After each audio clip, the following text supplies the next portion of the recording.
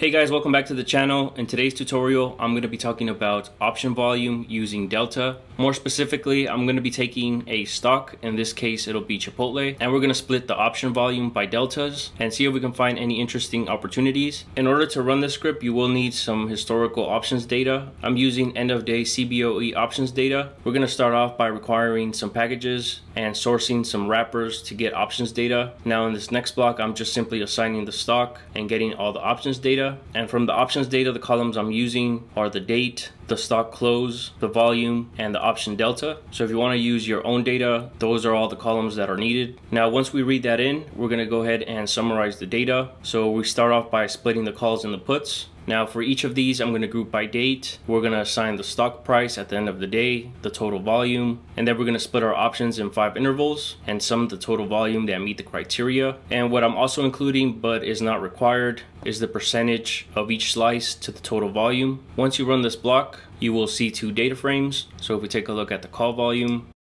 we have 578 entries. We see the date, the stock price, the total volume, and then the total volume for each of these deltas. And the last five columns are the percentage of each to the total volume. Now in the next block, we're trying to find any patterns so I'm going to go ahead and make some calculations and create an indicator based off of the volumes. We first need to convert our call volumes and put volumes into an xts object. And the indicator I'm creating is simply taking the upper slice for the deltas of the calls and dividing it by the puts. And then taking the lower delta slice between 0 and 20 for the calls and dividing that by the puts. Some of the instances you will see are infinite because the volumes are 0. To fix that, I'm just going to replace those instances with 0. Now the indicators are very choppy, so in order to smooth things out, I'm using a simple moving average with a period of 14 for each. And since we took 14 observations, I need to omit any NAs. So if we take a look at vol delta, we have our call over put volume and then our lower slice between 0 and 20. The next two columns are the simple moving averages for each of these two columns. Once we have these columns, I'm going to take the quantiles with a probability of 5%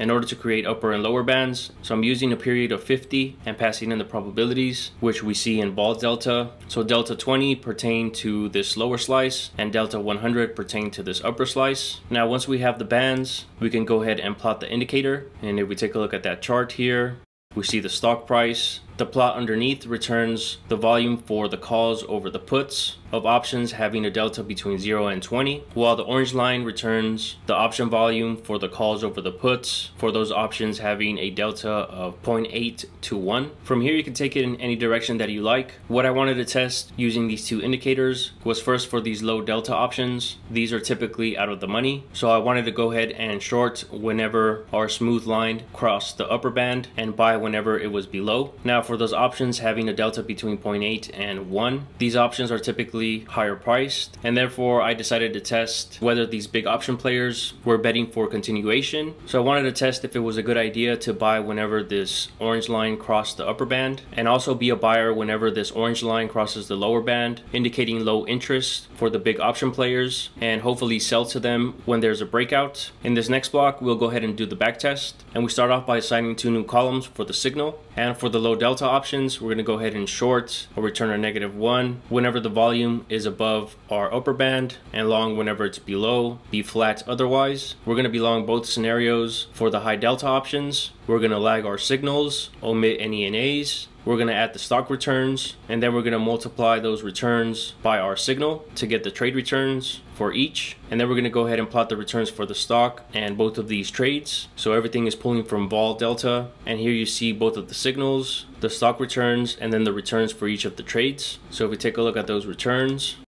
so the black line is the actual stock return and we can clearly see that the outperformer here was our trade on the low delta options. I don't see any alpha using the high delta options and we were better off just buying and holding the stock. Well this is just one example but we can extract multiple trading signals based on the option volume and deltas. Well with that guys this concludes the video. I'll post a link down in the description area to my Patreon where you can find the script. Please consider subscribing to the channel if you haven't done so already. Thank you so much for watching and I'll see you guys in the next video.